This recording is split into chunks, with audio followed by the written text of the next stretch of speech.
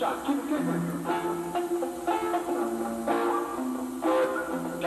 happy trails or something like that? A man who needs no introduction, John Russell.